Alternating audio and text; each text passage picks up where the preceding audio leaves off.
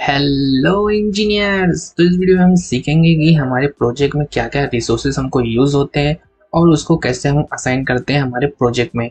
तो चलिए वीडियो को स्टार्ट करते हैं।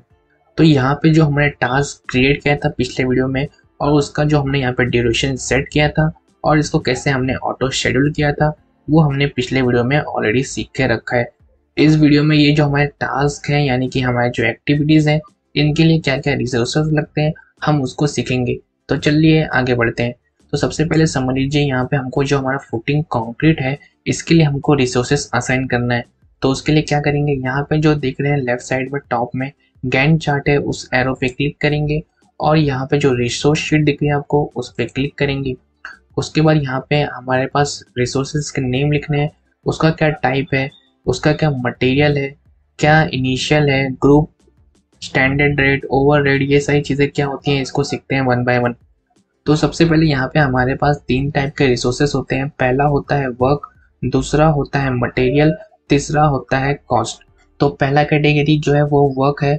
वर्क के अंदर क्या क्या आता है? जो भी हमारे लेबर्स होते हैं साइड इंजीनियर्स होते हैं सुपरवाइजर्स होते हैं, और जो भी हमारी मशीनरीज यूज़ होती है हमारे कंस्ट्रक्शन प्रोसेस में उन सबको हम वर्क टाइप में कंसिडर करते हैं।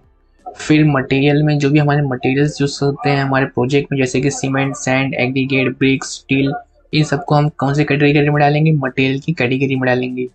फिर हमारा कॉस्ट की कैटेगरी में जो भी हमारे ट्रैवल अलाउंसेस लगते हैं, जो भी हम पेमेंट करेंगे हमारे लेबर्स को इंजीनियर्स को, और जो भी अदर एक्सपेंसेस लगते हैं, उन सबको हम किसमें डालेंगे?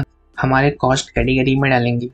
तो यहाँ पे हम क्या कर रहे थे अभी फुटिंग कंक्रीट कर रहे थे तो यहाँ पे रिसोर्स नेम में फुटिंग कंक्रीट के लिए हमको क्या क्या लगेगा सबसे पहले यहाँ पे हमको लगेगा सीमेंट तो यहाँ पे सीमेंट लिख देंगे फिर सीमेंट के बाद हमको यहाँ पे लगेगा सैंड तो सैंड लिख देंगे फिर यहाँ पे हमको एग्रीगेट लगेगा तो यहाँ पे एग्रीगेट लिख देंगे फिर यहाँ पे हम आरसीसी वर्क कर रहे हैं यानी कि फुटिंग कंक्रीट में एनफोर्समेंट भी लगेगा तो यहाँ पे हम स्टील लिख देंगे फिर इन सबको मिक्स करने के लिए हमको यहाँ पे हमारे पास कंक्रीट मिक्सर भी होना चाहिए तो यहाँ पे लिख देंगे कंक्रीट मिक्सर फिर यहाँ पे हमको कितने लेबर्स लगेंगे उसको समझते हैं।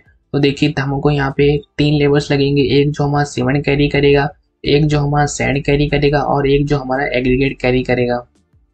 और एक भिस्ती लगेगा हमको, जो हमारे कंक्रीट मिक्सर के पास खड़ा रहेगा मिक्सर के अंदर पानी डालने के लिए और उसको प्रॉपरली मिक्स करने के लिए।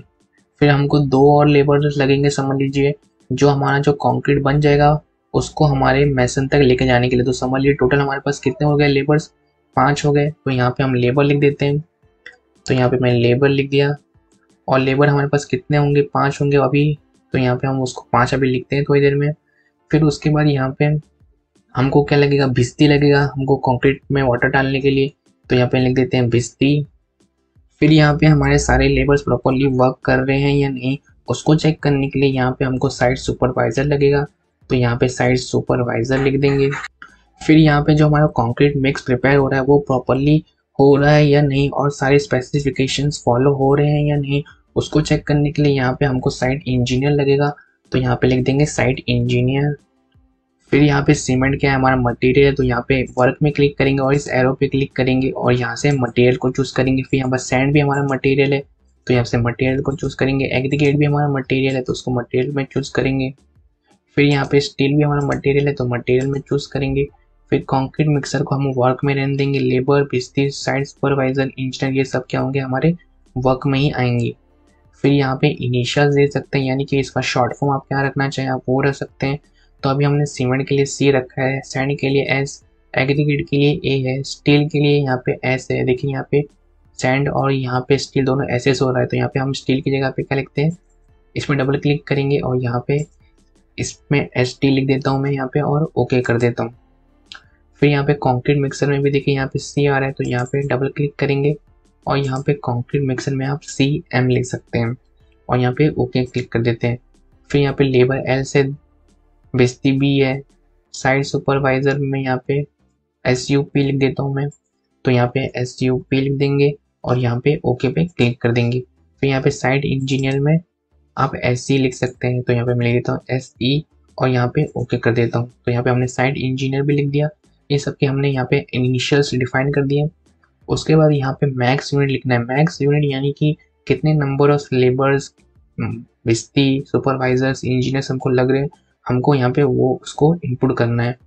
और यहाँ पे हम देखेंगे, यहाँ पे जो हमने मटेरियल डिफाइन किया है, उसके अंदर यहाँ पे मैक्स यूनिट में हम कुछ भी चीज़ें इनपुट नहीं कर सकते। क्योंकि इसको हम क्या मंगाते हैं? क्वान्टिटी में मंगाते हैं। उसकी हम यहाँ पे मैक्स यूनिट हम कितना मंगाएँगे, हम वो नहीं डिसाइड कर सकते। यहाँ पे हमको सिर्फ़ उसके यूनिट्स लिखना है। अब यूनिट्स लिखने के लिए सिर्फ़ हमको ये जो ग्रुप का कॉलम दिख रहा है आपको इस ग्रुप के कॉलम में अंदर हमको इन सब की यूनिट्स लिखना है। तो यहाँ पे जो हमारा सीमेंट होता है, उसका जो यूनिट होता है वो होता है बैग्स तो यहाँ पे लिख देंगे बैग्स फिर यहाँ पे हमारे सैंड का यूनिट क्या होता है? क्यूबिक फिट तो यहाँ पे लिख देंगे क्यूबिक फिट फिर यहाँ पे हमारे एग्रीगेट भी हम किससे मंगाते हैं? क्यूबिक फिट में मंगाते हैं तो यहाँ पे क्यूबिक फिट लिख देंगे। फिर यहाँ पे हमारा जो स्टील है, वो हम किससे मंगाते हैं? के में या फिर टन में तो यहाँ पे हम के लिख देंगे। फिर यहाँ पे कॉन्क्रीट मिक्सर में समझ लो अभी हमको यहाँ पे वन ही लग रहा है तो यहाँ पे वन ही रहने देंगे फिर यहाँ पे समझ लीजिए हमको यहाँ पे लेबर्स कितने लग रहे थे फाइव तो यहाँ पे हम इस अप एरो पे क्लिक करके इसके नंबर को बढ़ा सकते हैं या फिर डायरेक्टली हम यहाँ पे टाइप कर सकते हैं अपने कीबोर्ड में फाइव और एंटर कर देंगे फिर यहाँ पे हमको भिस्ती एक ही लग रहा था तो यहाँ पे वन ही रहने देंगे साइट इंजीनियर भी हमको एक ही लग रहा था और सुपरवाइजर भी हमको एक ही लग रहा था अगर ये जो हमारी सारी मैक्स यूनिट्स हैं अगर आपका यहाँ पे परसेंटेज में आता है तो उसको आपको चेंज करना पड़ेगा। चेंज करने के लिए यहाँ पे फ़ाइल का ऑप्शन दिख रहा है आपको। टॉप लेफ़्ट में उसमें क्लिक करेंगे और यहाँ पे बॉटम में ऑप्शन का ऑप्शन है, उसमें जाएँगे। फिर यहाँ पे जाएँगे हम हमारे शेड्यूल में। शेड्यूल में जाने के बाद यहाँ पे शेड्यूल में देखिए यहाँ पे यहाँ पे देखिए डेसिमल सेलेक्टेड है, इसलिए यहाँ पे हमको नंबर में शो कर रहा है। अगर आपका परसेंटेज में शो कर रहा होगा तो आपको यहाँ से इसको डेसिमल में सेलेक्ट कर लेंगे और यहाँ पे ओके पे क्लिक कर देंगे। फिर यहाँ पे देखिए स्टैंडर्ड रेट यानी कि इन सब का कितना रेट लगता है पर डे के हिसाब से, उसको हमको यहाँ पे इनपुट करना है। अब यहाँ पे हम देखेंगे तो हमको यहाँ पे रुपीज़ में दिखा रहा है। अगर आपको यहाँ पे डॉलर में दिखाएगा या फिर कोई और करेंसी में दिखाएगा तो उसको चेंज करने के लिए फिर से फ़ाइल में जाएँगे और यहाँ पे बॉटम में ऑप्शन में जाएँगे, फिर यहाँ पे डिस्प्ले में जाएँगे, फिर डिस्प्ले में यहाँ पे देखिए करेंसी करेंसी में यहाँ पे हमको क्या सेलेक्ट करना है? आई एन आर यानी कि इंडियन रुपीज़ और यहाँ पे ओके पे क्लिक कर देना है। फिर इन सब का रेट लिखते हैं। फिर यहाँ पे जो हमारा सीमेंट का एक बैग का रेट होता है, वो होता है टू फिफ्टी तो यहाँ पर टू फिफ्टी लिख देता हूँ। आपके यहाँ पे जो भी आपका मार्केट का रेट होगा, आपको उसको यहाँ पे इनपुट करना है। अभी मैं यहाँ पे स्टैंडर्ड वैल्यूज़ ले ले रहा हूँ। फिर यहाँ पे जो हमारा सैंड होता है, उसका एक क्यूबिक फीट का रेट होता है सेवनटीन तो यहाँ पे मैं लिख दूँगा सेवनटीन फिर यहाँ पे एग्रीगेट के लिए हमको ट्वेंटी टू रुपीज़ लगता है एक क्यूबिक फीट के लिए। फिर यहाँ पे स्टील के लिए हमको लगता है फोर्टी रुपीज़ पर के जी फिर यहाँ पे हमको कॉन्क्रीट मिक्सर मिलता है फाइव हंड्रेड पर डे के हिसाब से तो यहाँ पे लिखेंगे फाइव हंड्रेड और इसको यहाँ पे स्लैश लिखेंगे और यहाँ पे डी ए वाई डे लिख देंगे और एंटर कर देंगे। फिर यहाँ पे लेबर के लिए हमको मिलता है two fifty rupees per day तो यहाँ पे लिखेंगे two fifty rupees per day फिर यहाँ पे भिस्ती के लिए हमको रेट मिलता है टू हंड्रेड पर डे तो यहाँ पे लिखेंगे टू हंड्रेड पर डे फिर यहाँ पे साइट सुपरवाइजर के लिए हमको रेट मिलता है फोर हंड्रेड पर डे तो यहाँ पे लिखेंगे फोर हंड्रेड पर डे फिर यहाँ पे हमारे साइड इंजीनियर के लिए हमको रेट मिलता है फाइव हंड्रेड पर डे तो यहाँ पे लिखेंगे फाइव हंड्रेड पर डे और एंटर कर देंगे। यहाँ पे हमने सबके स्टैंडर्ड रेट्स को लिख दिया। फिर यहाँ पे हमारा जो कंक्रीट प्रिपेयर होगा, उसको हमारे फुटिंग के अंदर पोर करने के लिए उसको यहाँ पे प्रॉपरली लेवल करने के लिए हमको यहाँ पे मैसन भी रिक्वायर्ड होगा। फिर यहाँ पे हमको मैसन भी इनपुट करना पड़ेगा हमारे रिसोर्सेस में। तो यहाँ पे साइड सुपरवाइजर पे क्लिक करेंगे राइट क्लिक करेंगे और यहाँ पे इंसर्ट रिसोर्स पे क्लिक करेंगे। और यहाँ पे लिख दूँगा मैं मैसन और मैसन भी क्या होगा? हमारा वर्क वही होगा। और इसकी यूनिट हमने यहाँ पे एम रन देते हैं। फिर यहाँ पे जो मैसन की रिक्वायरमेंट होगी, यानी कि उसकी मैक्स यूनिट क्या होगी, उसको सेलेक्ट करते हैं। तो यहाँ पे एक थम रूल हम फॉलो करते हैं कि हमारे एक मैसन पे हमको तीन लेबर लगते हैं अप्रॉक्सीमेटली तो यहाँ पे हमने कितने लेबर्स लिए हैं? फाइव लिए हैं। तो इसके हिसाब से यहाँ पे हम टू मैसन कंसिडर करेंगे। तो यहाँ पे टू मैसन कर देंगे। और यहाँ पे जो मैसन का रेट होता है, वो होता है थ्री फिफ्टी पर डे तो यहाँ पे लिख देंगे थ्री फिफ्टी पर डे और एंटर कर देंगे। तो यहाँ पे हमने सारे रिसोर्सेस और उसके टाइप उसके यूनिट और उसके रेट्स को लिख दिया। अब इन रिसोर्सेज को हम असाइन करते हैं, जो कि हमारे फुटिंग कॉन्क्रीट के लिए हमने इन रिसोर्सेज को प्रिपेयर किया है। तो फिर से जो गैन चार्ट है, उसमें जाएँगे और यहाँ से जो गैन चार्ट है, उसको सेलेक्ट करेंगे।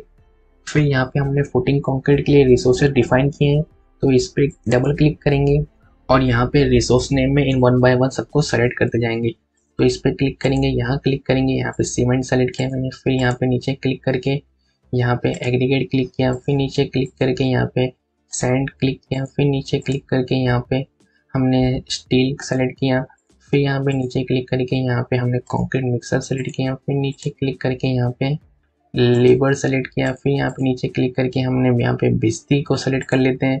फिर यहाँ पे नीचे क्लिक करके यहाँ पे हम मैसन को सेलेक्ट कर लेते हैं। फिर यहाँ नीचे क्लिक करके हम साइड इंजीनियर को सेलेक्ट कर लेते हैं। फिर यहाँ पे एरो पे क्लिक करके हम, फिर यहाँ से हम साइड सुपरवाइज़र को सेलेक्ट कर लेते हैं।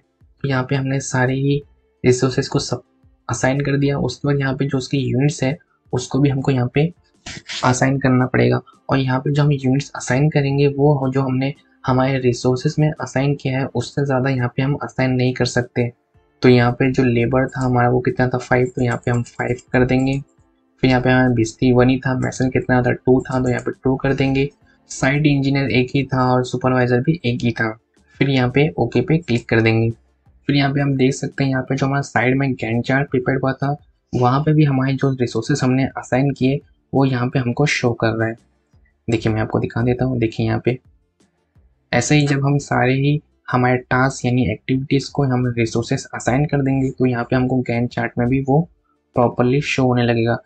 फिर यहाँ पे जो हमारा फुटिंग कॉन्क्रीट था, इसके ऊपर हम फिर से डबल क्लिक करेंगे। फिर यहाँ पे आप देख सकते हैं, यहाँ पे जो यूनिट्स है, इसमें हम क्या लिखेंगे? जितने भी नंबर ऑफ़ सीमेंट बैग्स लगने वाले हैं हमारे फुटिंग कंक्रीट में, जो कि हमने यहाँ पे हमारे एस्टिमेशन के कोर्स में कैसे निकालते हैं, उसको ऑलरेडी सीख रखा है। यानी कि फुटिंग कंक्रीट के लिए जितना भी आपका क्वांटिटी आता है, आपके सीमेंट बैग्स का आपको यहाँ पे उसको इनपुट करना है। जितने भी एग्रीगेट्स की क्वांटिटी आती है, आपको उसको इनपुट करना है। और सिमिलरली जैसे कि आपके सैंड है स्टील है, इनकी क्वांटिटी क्या आती है, आपको यहाँ पे उसको इनपुट करना है।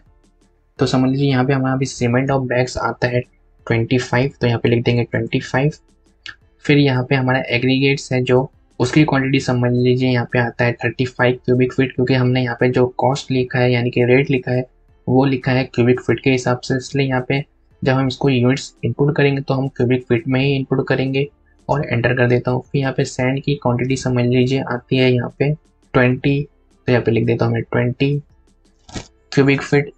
और यहाँ पे स्टील की हमारी क्वांटिटी समझ लीजिए, आती है फिफ्टीन के जी मतलब फिफ्टीन लिख देंगे और एंटर कर देंगे। फिर से यहाँ पे मैं ओके कर देता हूँ। फिर यहाँ पे देखिए डबल फुटिंग कॉन्क्रीट पे डबल क्लिक करूँगा। तो यहाँ पे हमारा कितने यूनिट्स थे, उसके हिसाब से यहाँ पे हमारा कॉस्ट कैलकुलेट हो गया।